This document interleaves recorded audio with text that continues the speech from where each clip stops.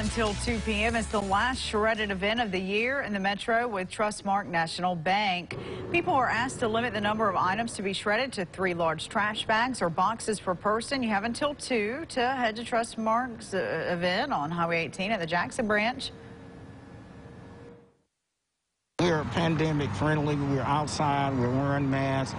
So we feel like it's secure for customers to come by and, and get out of the house and bring their, uh, their paper to be shredded. People are also asked to stay in their cars. Up next, we'll have a last check.